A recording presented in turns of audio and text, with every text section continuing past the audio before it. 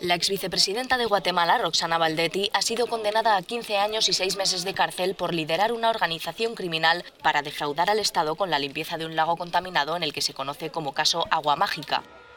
Es culpable de delitos de asociación ilícita, fraude y tráfico de influencias.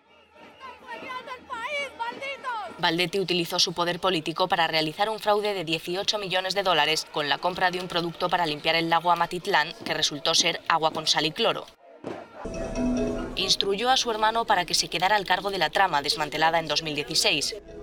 Mario Valdetti, conocido como el jefe, hacía de intermediario entre la empresa israelí a la que hicieron la concesión y el Estado. Ha sido condenado a 13 años de cárcel.